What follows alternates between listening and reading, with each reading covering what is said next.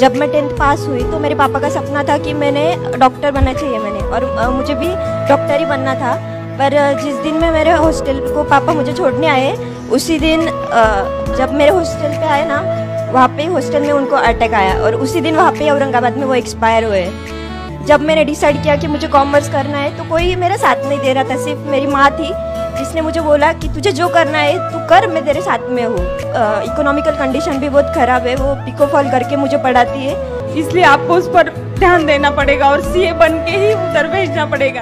आप बहुत लोगों के लिए मिसाल हो। आप जब रो रही हो पूरा क्राउड आपके साथ में रो रहा है आप जानते हो।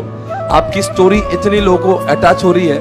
लोग ये महसूस कर पा रहे हैं कि सच में कितना एक आप एक आदर्श महिला हो जहाँ पे आपने समाज को बहुत बड़ा पार्ट पढ़ा रही हो। कि ज़िंदगी में अगर आप चाहती तो आपकी बेटी को बीकॉम करा के शादी करवा देती, पर आपने ये रास्ता आसानी का नहीं चुना।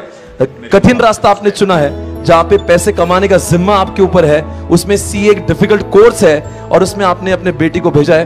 बेटा, आपकी ज़िम्मेदारी बहुत बढ़ रही है, और आपको अपनी माँ का सपना बहुत पूरा करना बेटा, बहुत मुश्किल से है मैं नहीं जानता ज़्यादा, पर बहुत मुश्किलों से आपको रखा जा रहा होगा, इतनी बात ज़रूर जानता हूँ मैं। एक बार तालियाँ बजा दीजिए इनके लिए, क्या बात है, सुपर।